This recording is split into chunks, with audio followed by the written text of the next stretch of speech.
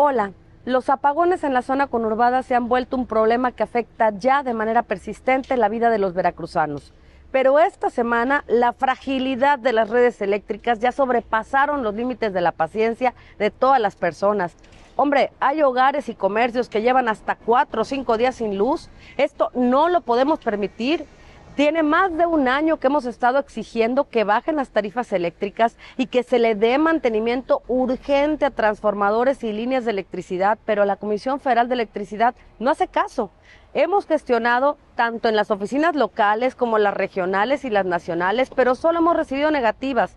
Incluso entregué en manos del propio director Manuel Bartlett la solicitud de bajar las tarifas como lo hizo en Tabasco y este a modo como hasta de mofa se negó y dijo que en Veracruz no hace tanto calor como allá. Por eso vamos a escalar la exigencia, ya agotamos las gestiones, bueno, pues ahora vamos a iniciar una lucha por la vía legal para que los tribunales nos den la razón como ciudadanos y hagan que la Comisión Federal de Electricidad reduzca sus tarifas y dé mantenimiento inmediato. Ya estuvo bueno que los veracruzanos paguemos un servicio tan caro y tan malo y que además todo el tiempo estemos con estos apagones. Vamos a seguir trabajando con carácter y compromiso defendiendo tus intereses.